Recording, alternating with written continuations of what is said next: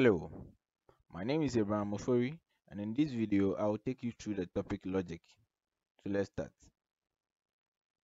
Definition. So logic is a science that studies what the principles of correct reasoning. So here we will be given some set of statements and then we are um, supposed to reason and say that those statements are true or either false. Okay.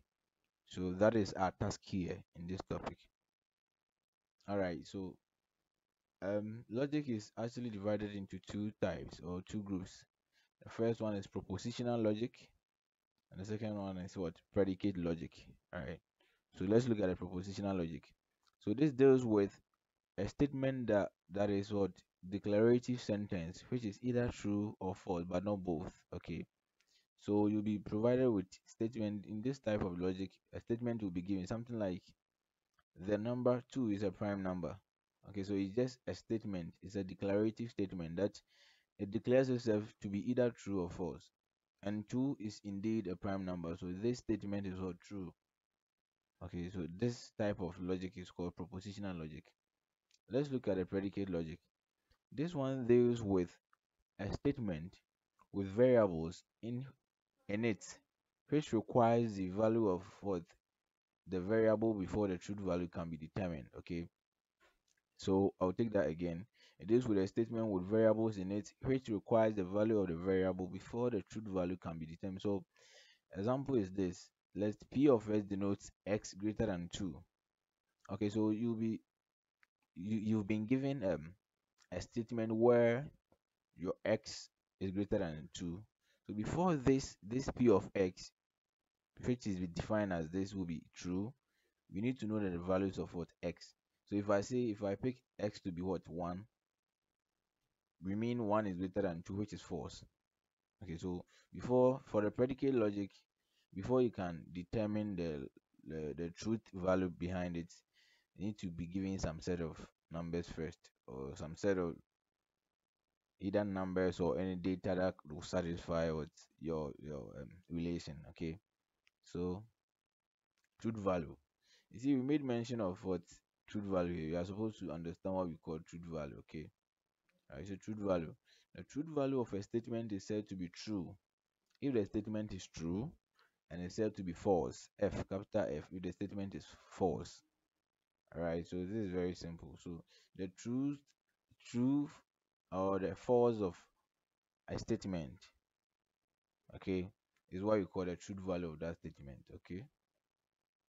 So let's continue. Operations on logics. We have some operations on logics that we are supposed to know. We have two types. We have what a unary operation, and this type of operation acts on a single statement to give a single truth value. Alright, so this operator actually takes only one statement. Okay, the operator is called negation or not operator. So yeah we'll do example on this and then you understand why we are saying. It acts on a single um, statement. Okay. Then we have the other one to the binary operation. This type of operations combines two or more statements to form single compound statement to give a true thought. Sorry to give a single truth value. All right so it combines two or more statements to form a single compound statement. Like i will say a first statement now see another statement. Then these operators, the ones that we call binary operators, they will combine the two of the statements for us to know that either the combination of them will give us a truth, a t as a truth value, or f an f as a truth value. Okay.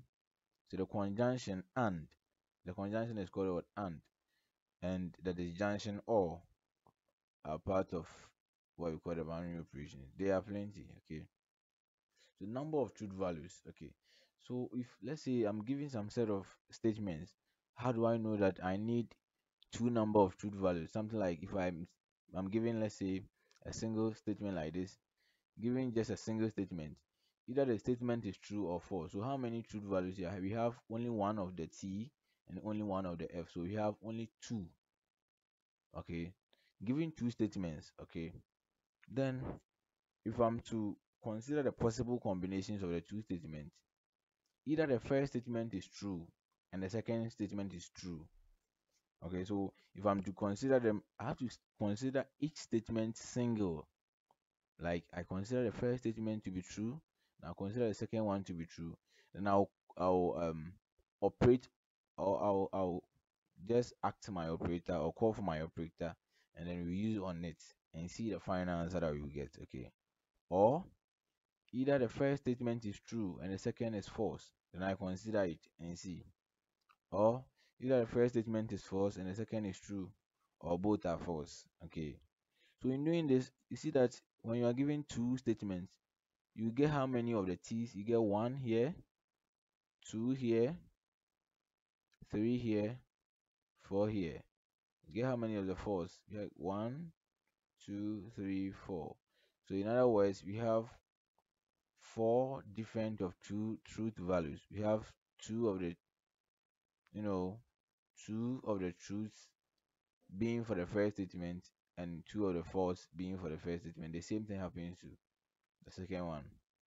So if you want to know the number of truth values in a simple or giving some statements, then you need to count the you can even count the number of the truths, the t's in it, and then you'll be okay.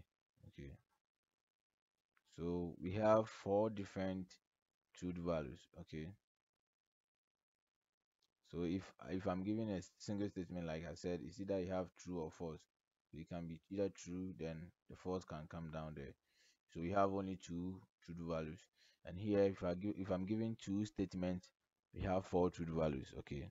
So if you continue considering different number of statements given, you will see that the number of possible truth values is given by 2 to the power n, where n is the number of statements given. Okay, so you should keep this formula in mind if let's say um, n is equal to um, the number of statements given is let's say three we, have been given let's say a statement denoted as p and a statement denoted as q and another one to be let's say r the number of possible truth values which we can combine is what 2 to the power the number of statements which is 3 which will give me what 8 okay so let's start with zero. So example if you have three statements then pqr then we will have 2 to the power 3 which is equal to 8 number of truth values. Okay? All right so let's continue. Logical operators. So basically we deal with five operators giving us um, the negation that is a not which acts on a single statement that is this is the symbol sorry this is a symbol for it okay not p. So if i'm giving a statement p then i have not of p. Okay have the conjunction that is the and that acts on two statements. That is the p and q this is a symbol for and okay. And the disjunction that is or which acts on two statements. And is written as what? P or q. The symbol is this one like a v big v. Okay. And the implication which acts on two statements and so the implication is we, we read it as what? P right um this is what? Right arrow right? So p right arrow q but we don't say that. We say p implies q. So we read as what? If p then q or p implies q. Okay then the bi-implication that acts also it acts on two statements. And this one happens where you are looking at here and then you are looking at the back as well. So it's like p if and only if q or p if q any of these if you read it any of this like we will accept it okay? So note there are other operators which are obtained by the negation of the basic operator that is NAND operator is the negation of what? And. So if you negate or you get no like a whole lot okay? All right so let's start with serious business. The negation that is not. We are taking them one after the other and we treat all of them. The negation of a statement is the opposite of the statement. So it uses what? Not. So if I have, let's say, um, let's give an example. Let P be defined as what? It will rain today. It means that if I say it will rain today, the negation of P is what not P, which is given as what it will not rain today. So this is very simple, right? So the negation of just this statement is what we call the not of the statement. Let Q be we will not come home. So we will not come home. So it becomes not not, and that will become what positive. So it's like the negation of this is we will come home. Okay. So you call something truth table. The truth table is also a table that you can use to determine the truth value of a certain statement. So like I said, if I'm giving a single statement like P, then the possible um, truth values that I can combine is so true and false. So I just write my P in the first column. Under it, I consider when when T is sorry when P is true, and I consider a time where P is what false. Then if P is true, the negation of P will give me what false. But if P is false, the negation of P will give me what true. Same thing like this. Here, this this side, this down here. Let's look at the Q. Q was already in the in the false statement that it will not come home. You sorry, you will not come home. And then so the negation of it will give me what a true value, which is what we will come home. I hope this is cool, right? So that is it. Now let's look at the conjunction, that is the and. The and, or you can call end, if you want to put, uh, pronounce it that way. The end of two statements is what? True. Only when both statements are true. If you remember, we said the end acts on two statements. And so if you act this or if you operate this logical operator on two statements, then the truth value after express, expressing your what your logical terms and everything will always be true whenever the two statements are true. Now, example, given two statements P and Q, then we look at this this table, okay? So look at this table um, carefully. I have P. He said if you have two statements, how many possible truth values can you have? He said four. Okay, so it's 2 to the power the number of statements. So P and Q are the statements. So 2 to the power 2, which is 4. So for I have to for the 4, I have to divide it evenly for these two. So we consider a case where P is true and Q is also true. A case where P is true and Q is false.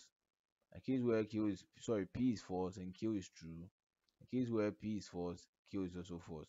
So in other words, if you want to draw this logical um or truth table, this is how you go about it. You write your P, you write your Q. If you know that the number of truth values are four, you just divide it and give half to, to the truth and half to the false in the first statement. So under P, I write true, true, false, false. When I come to the Q, I just write true, false, true, false. Okay, and this will give me all the possible combinations. So now this is it. P and q oh. okay. We are saying that this is always true whenever both statements are true. So p and q oh. here p is true q is true. So we give me what is true. And it's false otherwise. I should have written here. It's false otherwise. So when p is true and q is false i'll give a false I'll, I'll have a false when i use the and. So it's like this. P and q when P is true, Q is false, is false. When P is false, Q is true, is false. When both are false, is false. Alright. Let's look at the practical example and then you understand. So look at here. I have my P to be what? I will eat pizza. And Q to be I will drink soda. So now then P and Q is only true if I do both and false if I fail to do one or I fail to do both. Look at here. I'll eat pizza, I'll drink soda. If I say that um I'll eat pizza and I'll drink soda. Look at it, think about it clearly. I'll eat pizza and I'll drink soda. Then it means that let's say I'm going for an, an occasion and I say that during that occasion I'll eat pizza and I'll drink soda. If I eat pizza and I also drink soda, then what I said or whoever I said that thing to I've I've I've, I've um, accomplished what I said to the person. So it's like it's a truth thing, or the outcome is true. I was able to accomplish. So it's like a true thing, a correct thing that I did. But let's say I go to the occasion. I tell you that I'll go to an occasion and during the occasion I'll eat pizza and I'll drink soda. Let's say I don't eat pizza, then I drink soda. Probably whatever I told you, I didn't accomplish it. So it's a false. Like it's like I couldn't do it That's why we say false. Okay, so let's say I eat the pizza and I don't I, I don't drink soda. That means to you that I told you that let's say after going for that program, I'll eat pizza and I'll drink soda. I, I couldn't do it. So to you, you mark me down. Okay, that is why we call we, we say false. Now, when let's say I go to the same program, then I'm not able to eat pizza and I drink soda. To the same person, the same person will mark me down. Let's say you you you've gone for a challenge that um let's say um when when I write these exams, um I'll write let's say there's an exam coming okay so we say I'll write mathematics and I'll write English to your mom your mom or your mother. Then you write mathematics and you don't write English. Then to your mom you deceive her. So in other words it's like it's a force to your mom okay? But if you do both then it's true like to your mom he, she will give you a thumbs up okay so that is it all right let's look at the disjunction the or the or of two statements is false only when both statements are false. So it means that you only get the the final answer to be false when both statements are false, but it will be true always in the other way around. Okay. So let's look at given two statements P and Q. This is a truth table. Okay, P given us this, Q giving us that. So from this definition, let's look at it. We are saying that it's only false when both statements are false. So let's look at it down here. You have P being false, Q being false, and P or Q. This is a symbol for the or. Okay. P or Q is false. From the definition, we are saying that when both statements are false, it's false. Then it will be true otherwise or in other way. Alright, so if both statements are true, it's true. If both statements are sorry, if one statement is true and the other one is false, it's true. If one if one statement is false and the other one is true, it's true. And this one we know it from the definition. So let's look at this example. So I'll eat pizza. The first statement is P is such that I'll eat pizza and Q is such that I'll drink soda. Then P or Q P or Q is only false if I don't do both. And true if I do one or I do both. So let, let's look at here. I tell you that oh this this organize um, um this program that is coming off mm, you asked me um bro mike um when you go for this party will you eat pizza or or what food will you take Let, let's put it that way now i tell you that oh i'll either eat pizza or i'll drink soda so i'll eat pizza or i'll drink soda so if i eat one of them you know it's true like what i've done I, I've, I've been able to accomplish what i told you it's not necessarily that I should do both, okay? But let's say I eat both of them. That one too is true. I hope you understand. That's why we say if you have true, true, the P or Q should give me true. If I do one and I don't do the other, there's no problem because I say either I can do, I'll do this or I'll do that. So if I tell you, like, let's say I'm going to the university, when I go to the university, I'll do mathematics or I'll do chemistry then I am able to do the both of them. To you, you're okay. If I do one of them, you are still okay. Okay. But if I don't do any of them, then it means what I told you, I've lied to you. I hope you understand, right? So that is a false statement. Okay. All right, let's move on. So some true or false questions. Okay. So if I have some statements here, I'm supposed to say this statement is true or is false. So the first one is this from logic that we've done, the small one that we've done, when P is true, the compound statement P and Q is true. I'm taking it again. So when P is true, the compound statement P and Q is true. True or false? The answer is false because let's go back to our um, table. When P is true and Q is true, the compound statement P and Q is true. But when P is true and Q is false, compound statement P and, P and Q is false. So here they said they just gave us only P value that when P is true, so it can be any of these, and they didn't specify what Q. So it means what they are saying it can when P is true, the compound statement P and Q can be true. Only when Q is true, and it will be false when Q is false. but here they didn't specify the value for q. So all that they said was when p is true the compound statement this is so and this the end we said is only true when both are true. So we can't just consider only this and say this statement is true. I hope you understand it. So this answer is false now if the compound statement p and q is true then q is true. Think about it.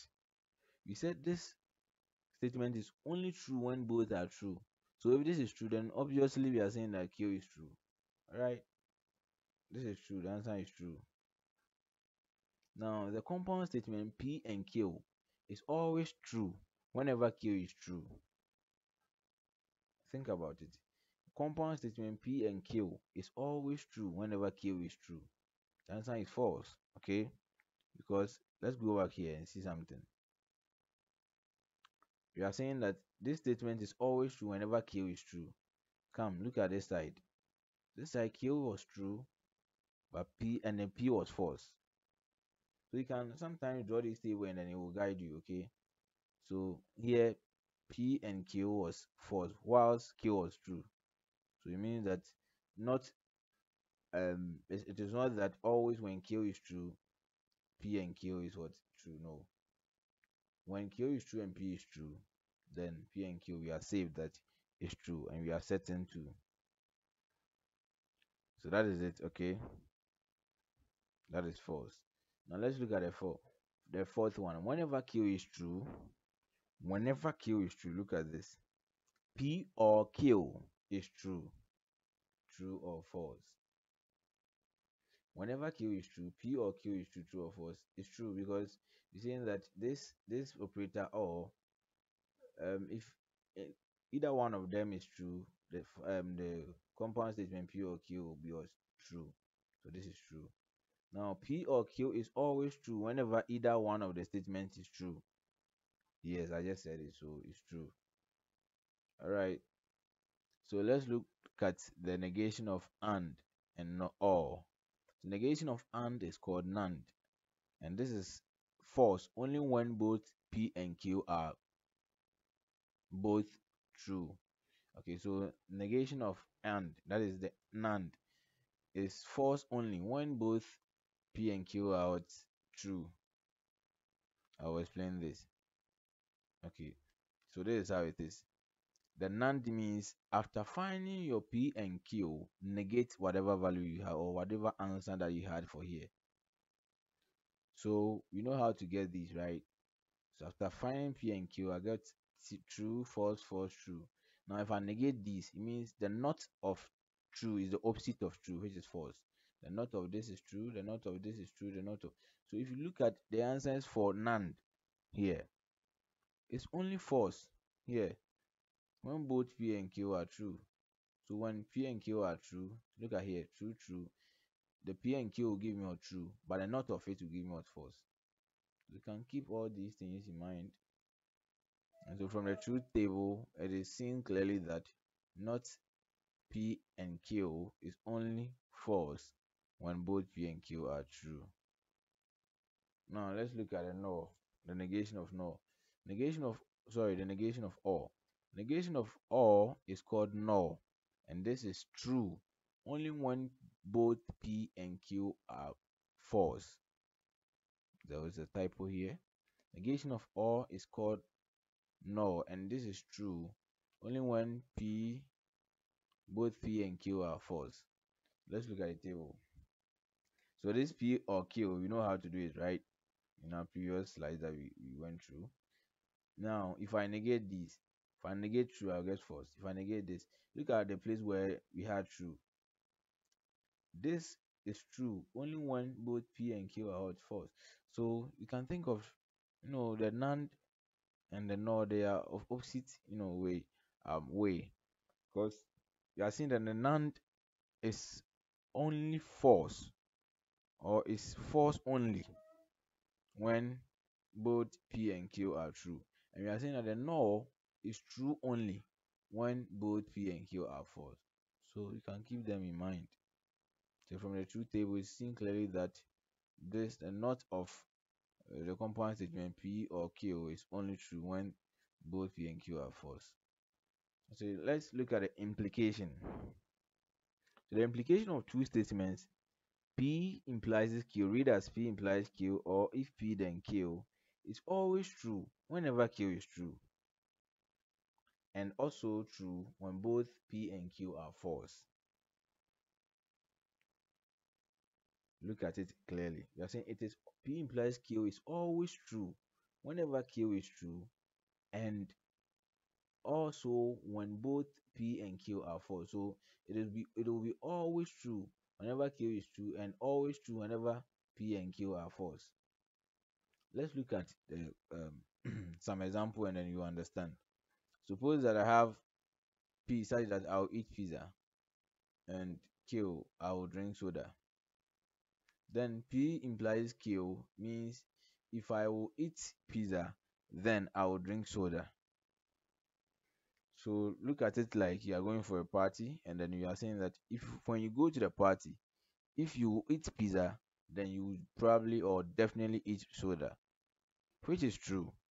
If you accomplish this, if you eat pizza and then you drink soda, then if if you eat pizza and you drink pizza, um, sorry, you drink soda, then this is true.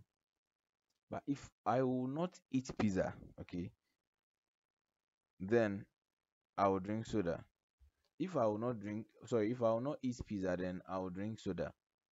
This is this makes sense. Like, I don't know if you get it, but someone asks you like, what what will you eat during this party? Then you say, if I will not eat pizza, I'll probably drink soda. This is true.